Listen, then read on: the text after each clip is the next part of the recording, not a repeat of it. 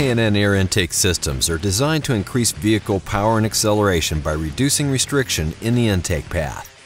K&N 63-1553 and 57-1553 air intake systems fit some Jeep Wrangler models with 3.8-liter engines. The 63-1553 air intake is not legal for highway use in California or other states adopting California emission standards. The 57-1553 air intake has received a CARB-EO number and it is street legal in all 50 states.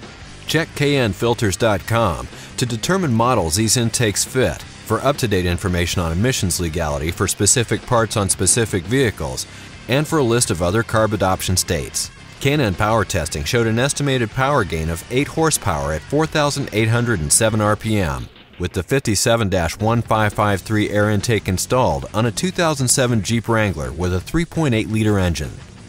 Actual results will vary depending on the condition of the vehicle, mileage, weather, and other variables. With the air intake installed, we ran the vehicle on the dyno to test the sound comparison versus the stock intake.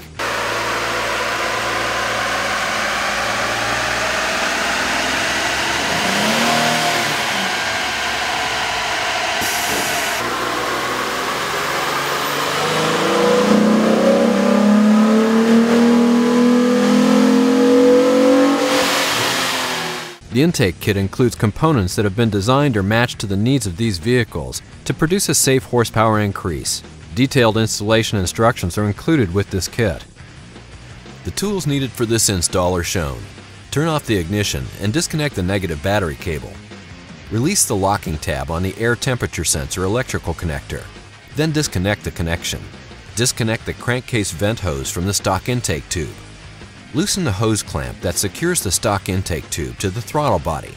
Then disconnect the intake tube from the throttle body. Lift up the airbox assembly to dislodge it from the mounting grommets, then remove the complete assembly from the vehicle. Install the supplied grommet into the hole in the intake tube. Carefully remove the fragile air temperature sensor from the stock intake tube. Carefully install the fragile air temperature sensor into the grommet installed in the intake tube during step number 6. Install the supplied silicone hose onto the throttle body and secure it with the supplied hose clamp. Remove the front engine bolt and set it aside as it will be reused. Install the saddle bracket provided onto the tube mounting bracket and secure it with the provided hardware. Install the tube mounting bracket assembly onto the engine and secure it with the bolt removed in step number 10. Be sure the bracket sits flush to the engine.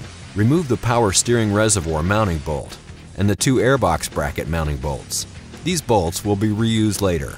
Install the supplied edge trim onto the heat shield and trim as necessary. Install the supplied rubber mounted stud onto the heat shield with the provided hardware. Install the supplied bracket onto the rubber mounted stud, but do not completely tighten at this time. Install the supplied small L bracket onto the heat shield with the provided hardware. The bracket should be installed on the outside of the heat shield, with the L portion pointing towards the outside of the heat shield. Install the supplied L bracket onto the heat shield with the provided hardware.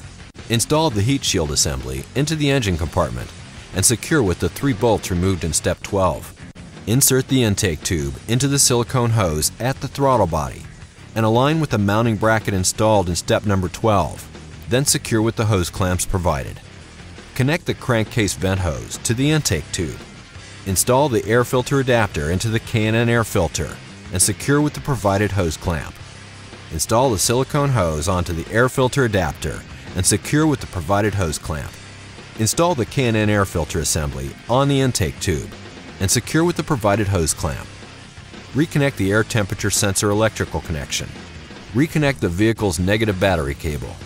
Double check to make sure everything is tight and properly positioned before starting the vehicle. It will be necessary for all K&N high-flow air intake systems to be checked periodically for realignment, clearance, and tightening of all connections. Failure to follow the above instructions or proper maintenance may void warranty. K&N makes products for nearly every vehicle on the road. The K&N website allows you to search products by vehicle or dimension. Download installation instructions, view dyno charts showing estimated horsepower gains for this product, and view product details. For information on where to buy K&N products, go to knfilters.com.